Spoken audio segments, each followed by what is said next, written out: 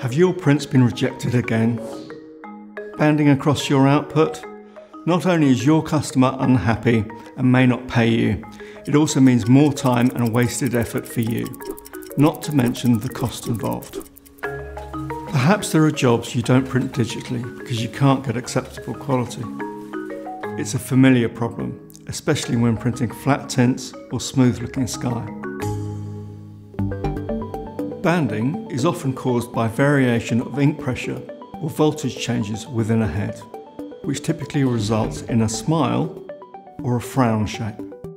We also see a certain amount of manufacturing variation between heads, so that one may print lighter or darker than the head next to it in a print bar. And some heads can wear in use, resulting in less regular banding, which can change over time. All of these apply to single pass inkjet presses, as well as scanning or multi-pass presses. The typical method of correcting these effects is by tweaking head voltages, but that's a very manual, time-consuming task which can't always achieve the desired results. PrintFlat from Global Graphics software automatically corrects for banding based on measurement of uncorrected prints.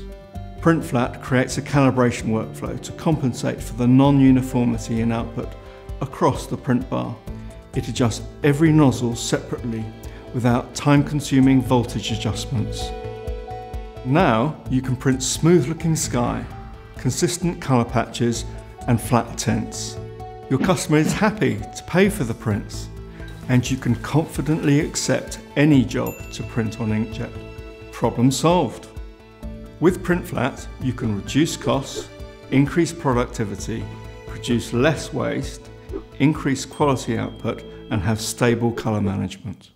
If you're printing labels and cartons, wall coverings, ceramic and vinyl tiles, laminate flooring, curtains, soft furnishings, fashion textiles, you need PrintFlat in your press. See how PrintFlat removes banding on large format posters for the Ellerhold Group, achieving 100% customer satisfaction and increasing its market share of outdoor advertising products in digital printing. Want to know more? Contact us.